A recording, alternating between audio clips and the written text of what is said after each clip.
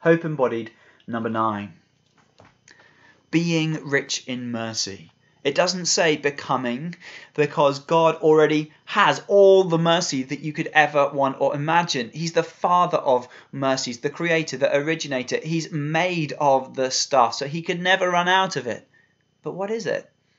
It's heartfelt compassion for the pain and misery that sin brings upon people. And we read in Lamentations chapter 3 verse 33 that God's deepest heart is not to punish, but it is to show mercy.